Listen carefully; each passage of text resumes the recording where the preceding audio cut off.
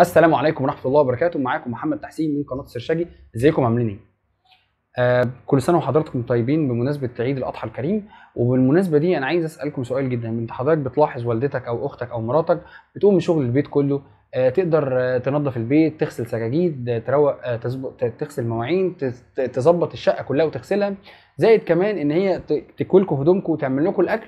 وما شاء الله أنت ما تقدرش تعمل ربع اللي هي بتعمله أو تمن اللي هي بتعمله. فايه الفرق؟ السؤال ده فعلا فعلا جه في دماغي كتير قوي إن أنا أسأله إيه الفرق ما بين الحتة دي والحتة دي؟ إزاي الستات تقدر تعمل الشغل ده كله وأنا ما بقدرش أعمل ربع الشغل ده؟ مع اننا إحنا كرجالة أقوياء إزاي ما بتقدرش حتى في شغل البيت؟ يعني الشغل هم بيعملوه عموما إن أنت تروح السوق وترجع وتعمل أكل الشغل ده أنت لو تيجي تبص له تبص إن هو شغل بسيط بس أنت ليه ما بتقدرش تعمله؟ تكتب النتيجه النتيجة اولا الهرمونات بتلعب جزء كبير قوي. إحنا عندنا هرمونات الذكورة آه، عالية قوي عندنا. هرمون التستوستيرون هو ده عالي جدا عندنا. الهرمون عندهم هرمون الأستروجين اللي هو ده هرمون الأنوثة وده عالي قوي عندهم. إيه الفرق ما بين الهرمونين دول؟ الهرمون التستوستيرون ده بيزود الضخامة العضلية وبيزود حاجة اسمها ال production energy اللي هو الطاقة ال- الطاقة يعني عموما اللي إحنا عندنا طاقة قوية. طب بما إننا عندنا طاقة قوية طب اشمعنى إحنا مش أقوياء زيهم؟ هقول لك. هم عندهم هرمون الأستروجين. هرمون الأستروجين ده فايدته اللي هو بيعمل حاجة اسمها fatigue resistant fatigue resistant دي اللي هي إيه؟ لو عملت مجهود تقدر لو قعدت تقوم على طول تكمل مجهود تاني. اللي هي فترة الراحة عندها قليلة فتقدر تكمل يعني كذا مجهود ورا بعض بفترات استراحة قليلة. غيرنا إحنا أنت مثلا لو بتروح جيم وبتلعب حديد ولا حاجة تلاقيك على طول تاخد فترة طويلة شوية عشان تقدر ترجع تشيل أوزان تاني. دي أول حاجة. الحاجة الثانية إن الكتلة العضلية عندنا أو العضلة مكونة من حاجة اسمها two fibers يعني مكونة من اثنين ألياف عضلية two fibers حاجة اسمها ألياف عضلية بطيئة الانقباض وألياف عضلية بص... آه سريعة الانقباض. تمام؟ إحنا في جسمنا كجسم الانسان كجسم الراجل بيغلب علينا آه الألياف العضلية اللي اسمها سريعة الانقباض اللي اسمها fast twitch fibers fast twitch fibers الستات بيغلب عليهم اللي هو slow twitch fibers اللي هو slow اللي هو الألياف بطيئة ال- الانقباض. إيه الفرق ما بين الاثنين دول؟ أنا هقول لك. الألياف اللي هي سريعة الانقباض اللي أنت تقدر تقوم بمجهود كبير قوي وعنيف جدا بس فترة قليلة قوي وده اللي بيغلب على جسم الإنسان جسم الراجل عموما.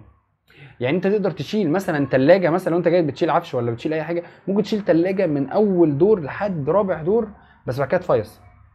الست تقدر تقوم بمجهود بسيط بس لفترات طويلة جدا. هوديك مثال برضو يعني إيه أحسن شوية. إحنا باجسامنا آه وليكن مثلا عضلة الظهر. عضلة الظهر دي دي اسمها يعني إحنا أنا قلت لك في البداية قلت لك إيه؟ إن في جسم الراجل والست آه يعني هو في ميكس كده في في اختلاط كده ما بين العضلات بطيئة الانقباض وسريعة الانقباض. بس إحنا أغلبية أك... آه آه كرجالة إحنا أغلبية آه آه يعني جسمنا بيبقى مكون من ألياف سريعة الانقباض. أما الس- الستات اغلبيه آه، أغلبية جسمهم بيبقى مكون من ألياف بطيئة الانقباض. تمام؟ أنا بقول لك الأغلبية مش كله طبعا. فليكن مثلا أنت كراجل عندك مثلا عضل ال- العين آه، سريعة الانقباض تقدر تقفل وتفتح عينيك بسرعة بسرعة رهيبة يعني. تمام؟ بس لو عملتها كده لفترة هتلاقيك بعد كده تعبت. عشان دي سريعة الانقباض تقدر تعمل مجهود سريع بس مش لفترة طويلة. الظهر بقى عندنا عضلات الظهر بطيئة الانقباض. يعني ممكن تقف ست سبع ساعات في الشمس وتقدر تكمل وتمشي وتروح وتيجي وبعد 8 ساعات وعادي وظهرك عادي ممكن تكمل عادي. لأن لو ظهرك كان سريع الانقباض كنت هتلاقي من بعد أول ساعة تلاقي ظهرك وقع واللي أنت بقيت بتسيح كده على الأرض اللي أنت بتتضم في بعضك. هو ده الفرق ما بين ده وده. الستات أجسامهم مصممة إن هي تعمل آه، مجهود بسيط يعني بسيط يعني درجة بسيطة أو درجة متوسطة بس لفترات طويلة. إحنا كرجالة أجسامنا مصممة اللي إحنا نقدر نعمل مجهود رهيب بس في فترات قليلة. إحنا عندنا اللي بيتحكم في الموضوع ده حاجتين الهرمونات وعضلات سريعة الانقباض اللي هو هرمون التستوستيرون وال GH أما عندهم اللي بيتحكم عندهم اللي هم عندهم عضلات بطيئة الانقباض.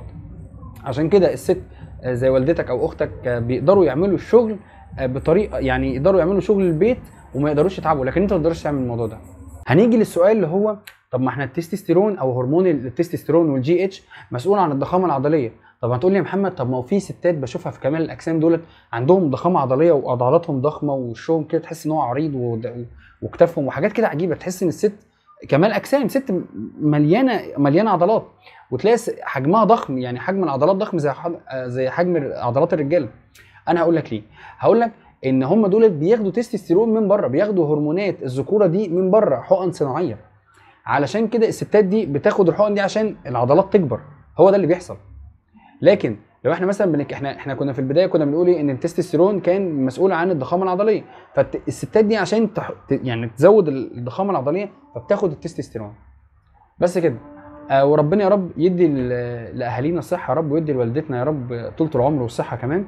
بس أنا حبيت إن أنا أعرفكم إن لما والدتك تيجي تقول لك تعالى يا ابني اغسل معايا المواعين أو تعالى اغسل أو اغسل آه، السجاجيد معايا يا ريت تبعت لها الفيديو ده. قول لها يا حاجة اتفرجي على الفيديو ده وانت هتعرفي إيه الفرق ما بيننا وما بينكم اللي إحنا على طول بنفيص وانتوا على طول بتبقوا ما شاء الله ربنا يديكم الصحة اجسامكم معده لحاجة زي كده. يا جماعة يا جماعة 85% من اللي بيتفرجوا على الفيديوهات ما بيشتركوش. الإحصائيات بتجيلي على الفيسبوك. أتمنى بس تنزل تحت وتعمل اشتراك في القناة وتعمل like. أتمنى. ده أنت كده بتدعمني على اليوتيوب. بس هو ده أسهل حاجة تقدر تعملها لي. شكرا جدا ليكم وما تنساش. أتمنى تشير الفيديو ده وأتمنى تعمل like وتشترك في القناة. شكرا جدا عن الصحه وبحب اتكلم عن الساعات. إن شاء الله تتابعني شكرا جدا ليكم. كان معكم محمد تحسين. والسلام عليكم ورحمة الله وبركاته.